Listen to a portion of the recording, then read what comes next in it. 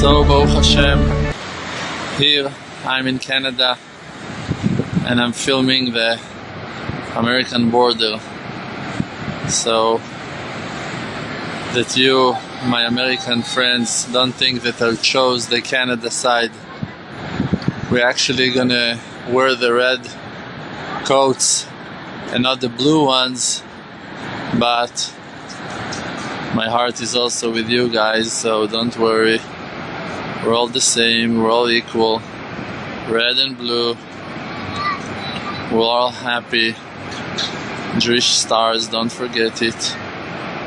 Are you happy? It's amazing here. I'm amazed here. Baruch Hashem, I'm happy. מה רבו מעשיך השם? כולם בחוכמה עשית.